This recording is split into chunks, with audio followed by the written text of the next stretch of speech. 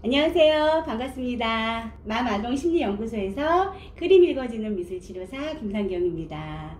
자, 오늘은 또 어떤 그림을 우리가 같이 이야기할 수 있을까요? 자, 오늘은요, 어떤 증상을, 어떤 문제 행동을 가지고 있는 유아냐면, 어, 예전에 한번 다루어 봤을 거예요. 선택적 함구증. 선택적 함증이라고도 얘기하죠. 근데, 어, 제가 이 그림을 보여드리는 게 어, 같은 증상의 어, 그림을 또 다시 보여드리는 게 지난번에 그 초등학생 같은 경우에는 인지적인 발달이 조금 음, 언밸런스한 것 때문에 선택적으로 말을 조심하게 하는 경향을 이야기했다 그러면 오늘은 기질적인 성격적인 예, 그런 면을 없지 않아 어, 있기 때문에 오늘은 다른 원인을 가지고 소개를 해드리려고 어, 유아의 그림을 준비를 했는데요. 자, 오늘 소개해드릴 그림은 KHTP의 칼라 버전이에요. 예, KHTP. 자, 움직이고 움직임이 있는 집과 나무와 사람을 그려주세요 하는 그림인데, 집이 움직이고 나무가 움직이나요? 아니요. 사람이 무엇인가를 하고 있는 어, 그 집이 등장하고 나무가 등장하는 그림을 그려주세요 하는 요구사항이 있는 그런 어, 제목의 그림을 그리는 건데 저는 이 친구에게 그림을 어, 그려줄 것을 요구할 때 칼라를 먼저 어, 허용을 했어요. 처음 만나는 친구였고 그리고 아직은 유아여서 연필의 소재보다는 크레파스, 색연필 뭐 이런 소재가 훨씬 더 친숙하기 때문에 그래서 친숙한 소재로 먼저 그림을 그릴 수 있도록 했고요. 그리고 도화지, A4 용지 조금 더 큰 종이 이렇게 다양한 어, 종이를 준비해서 선택해서 골라서 그릴 수 있게 좀 해줬어요. 그랬더니 이 친구는 A4 용지를 선택을 했습니다. 그리고 이런 그림을 그려줬어요. 나무가 있고 여기 집이 있고 집 옆에 수영장이 딸려져 있고 파란색 토끼를 그렸고 토끼는 당근을 손에 쥐고 있고 여기 사람을 그렸는데요. 이게 이게 사람이야? 라고 하실지 모르겠지만 이 그림이 사람의 모습을 그리다가 실패라고 생각해서 어, 노란색으로 막 끄적거림을 덧칠한 그런 내용의 그림이에요. 자, 이 그림을 가지고 제가 부모님들하고 음, 기질적인 성격적인 그런 면을 상담을 했습니다. 어떤 부분이었냐면 자, 이 친구 나무 그림을 해석을 해보면 자신감 있고요. 에너지 넘치고요. 그리고 음, 자존감도 있는 아이의 그림으로 저는 보여졌어요. 크기 보세요. 크기. 어, 굵기 보세요. 굉장히 튼튼한 나무가 나왔거든요.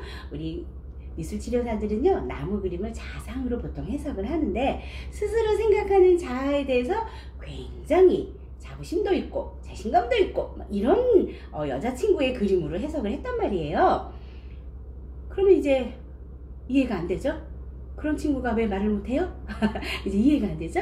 자 가지를 한번 볼게요 가지가 어, 일반적으로 뭐 보통 전형적으로 유아들의 나무 그림은요 이렇게 기, 나무 기둥이 있고 이렇게 원형으로 수관을 그리거나 아니면 조금 어, 좀 부드럽고 좀 에, 사회성이 있는 친구들 같으면 이렇게 꽃 모양이나 구름 모양의 수관을 이렇게 그려주고 그 안에 가지를 그리고 이게 보통 전형적인 나무 그림인데 어, 이 친구는 전형적이지 않은 나무가 나왔어요.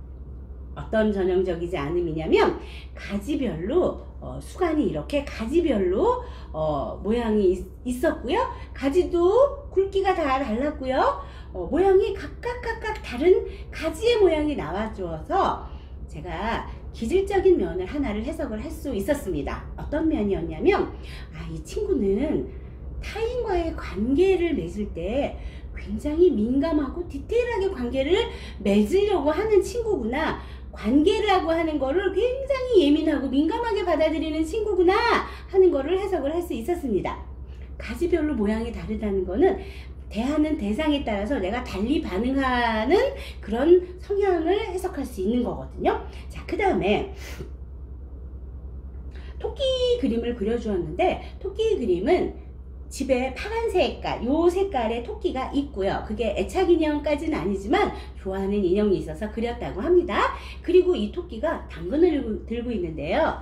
자, 잘 보시면 당근에 그 주름 같은 그런 디테일을 표현을 했어요. 음, 전체적인 그림의 디테일은 별로 없는데 이 당근의 만큼은 어, 당근의 그 미세한 주름까지 표현을 한 그림을 보고 아 누군가가 자기 자신을 어, 사랑해주고 음, 인정해주고 자기 자신 나를 나를 대우해주고 받아들여주는 걸 굉장히 민감하구나 라고 하는 거를 이 당근 그림에서 또 하나 캐치가 됐어요. 즉 어, 타인과의 관계에서 그 타인에 따라서 그때그때마다 상호작용이 달라지는 그런 민감성을 가지고 있는 반면 아니 반면이 아니고요 민감성을 가지고 있고 또 하나 저 사람이 날 어떻게 대하지? 나 사랑하나? 나 예뻐하나? 나 사랑받아야 되는데? 라고 하는 거에 굉장히 지금 어, 예민하게 반응하고 있다라고 하는 걸 알 수가 있었는데 그런데 여기 사람 그림 그리면서 제가 실패 라고 생각을 해서 자기가 막 이렇게 칠해서 더 칠했다 그랬잖아요. 자, 사람에 대해서 그림을 그릴 때 나름대로 그림을 어, 그리게 되는데 자기가 원했던 모습이 안 나왔다는 거는 자기가 생각했던 사람의 모습을 표현하는데 미숙함을 보였던 거예요. 즉 아직 6살이라 그랬잖아요. 아직 타인에 대한 이해가 조금은 부족하고요. 자기 자신에 대한 이해 플러스 타인에 대한 즉 인간에 대한 이해력이 아직은 좀 부족하죠. 당연하죠. 6살이면 만으로 5살이에요.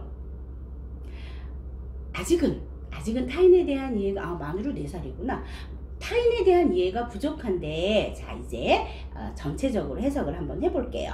어떤 해석이냐면 아직은 어려서 나 자신을 비롯한 다른 사람에 대한 이해력은 좀 부족한데 그런데 기질적으로 타인과의 관계에 예민하게 민감하게 반응하는 성격이고 그리고 사랑받는 거에 대해서 나, 내가 인정받는 거에 대해서 다른 사람이 나를 예뻐해 주는 거에 대해서 굉장히 예민하게 이렇게 주의 깊게 보고 있는 아이였어요.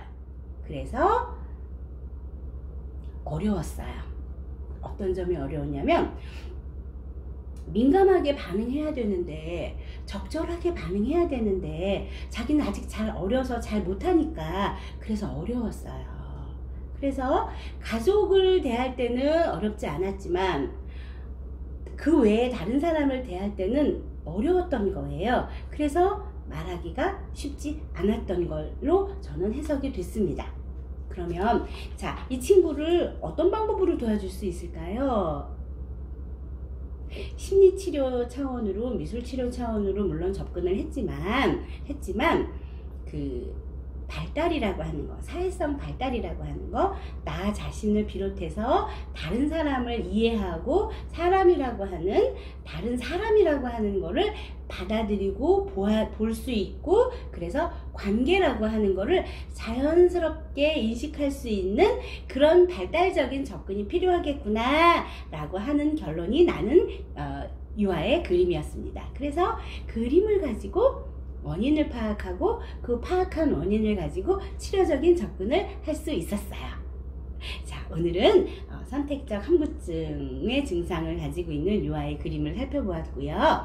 또 다음에 또 다른 그림으로 또 좋은 시간 가져보도록 하겠습니다. 예, 오늘은 여기까지 할게요. 감사합니다.